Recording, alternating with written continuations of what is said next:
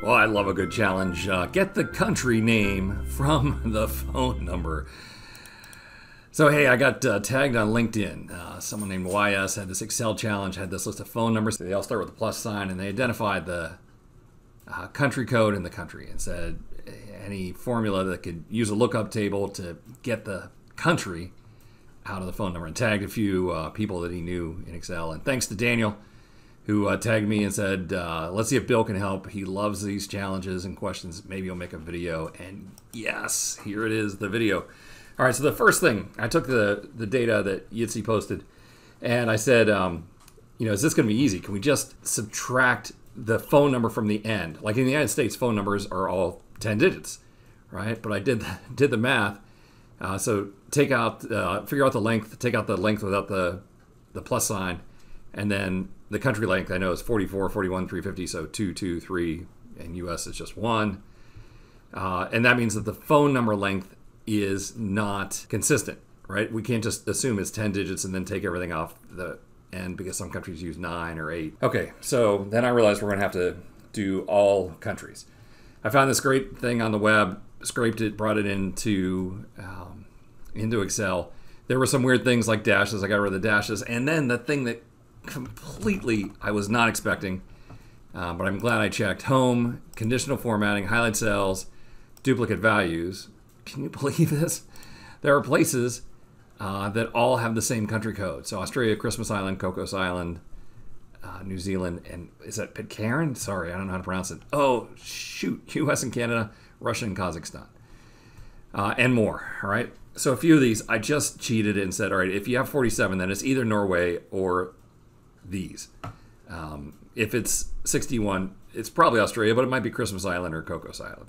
Uh, but US and Canada, I had to split those out. Um, so for me, I went and found the 50 country codes for Canada and said if it starts with a one, followed by these three digits, then it's Canada. Um, and I probably should go do the same thing for Russia or Kazakhstan, but in this case, I didn't. All right, so I ended up with a really long list of every possible country code and the country that it belongs to. And then I realized that because we don't know how many digits there's going to be from the, the left, we have to organize this by the number of digits in the country code. So I took all the six digit country codes in the country and I named that. Now, my idea was to name this CC6. It turns out you can't name it CC6 because that's a cell. Darn it. So I called it 6, S-I-X.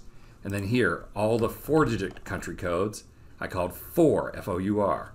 And then here, all the three digit country codes, I called three, and then two, and then uh, Russia, United States, Kazakhstan are the one digit codes. All right, so I have those five named ranges. Now, to get the country code, what we're going to do is pretty easy at first. We're just going to do a VLOOKUP of the first six digits after the plus sign into here right? If it happens to be 441481, we know it is Guernsey. We got, you know, like we're done, all right? But the odds are it's not going to be one of these. And so then if that returns an NA, so if it is NA, then we need to come and look at the first four digits after the plus sign and see if it's in this table. If it is, we're done. Otherwise, the first three digits after the plus sign in this table then the two digits after the plus sign in this table, and then the one digit after the plus sign in this table. All right, this formula is not bad, and I, I like this formula. I know you could do this with let, right? But it's just really simple to me, and anyone, you know, who can do a VLOOKUP or index and match in Excel is going to understand this. All right, so here's the VLOOKUP of the phone number starting in position two because of the plus sign. We want six digits. That's going to return text, of course, so I add zero to coerce it back into a number look at our VLOOKUP table called 6, get the second item, uh, and 0 for false for an exact match. All right, but see the IFNA has two, two components, the VLOOKUP, and if that VLOOKUP returns an NA, then we're going to move on and grab the four digits after the plus sign and look in the table called 4.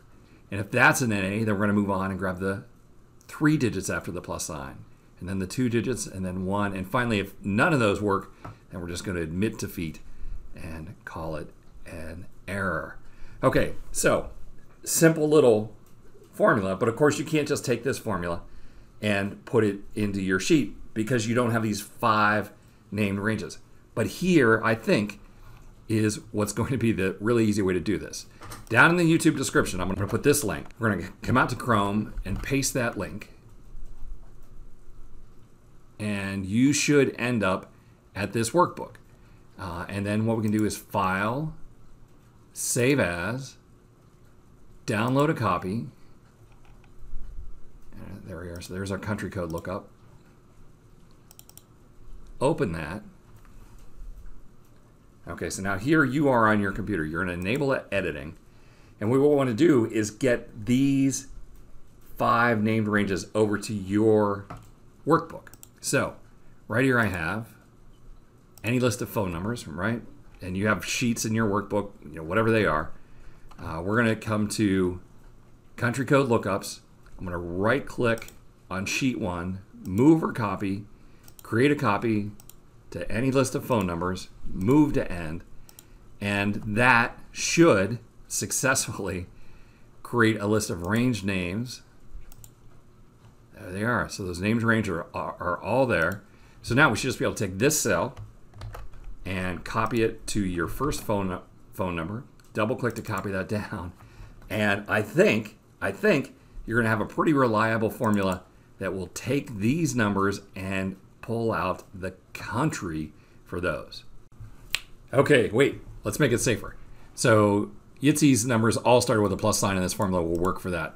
If you have phone numbers that don't start with a plus sign, they're either numbers or text, then this alternate formula here uh, is better. It starts at the first position instead of the second position.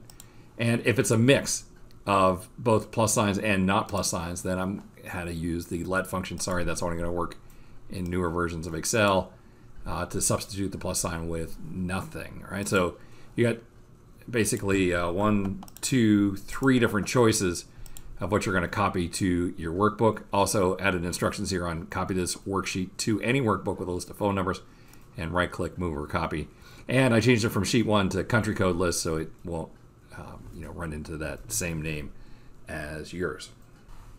All right, well, hey, I want to thank Daniel for tagging me in that question, and I want to thank you for stopping by. We'll see you next time for another netcast from MrExcel.